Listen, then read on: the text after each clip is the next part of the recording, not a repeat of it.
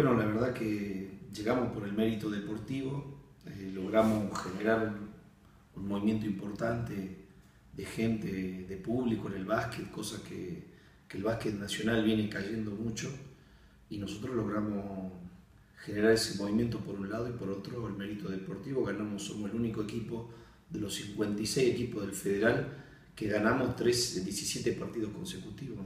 El entrenador está confirmado, Ricardo De Checo, a partir de, esa confirmación, Ricardo en este momento está de viaje, eh, pero ya debe estar delineando lo que él pretende como equipo. Cuando venga Salta seguramente nos vamos a juntar, eh, vamos a tomar unos mates de por medio y empezar a charlar eh, cuáles son las necesidades que tiene el técnico. Hay la exigencia es muy alta, son solamente seis jugadores mayores, mayores un sub-23 y un sub-21 y cuatro jugadores.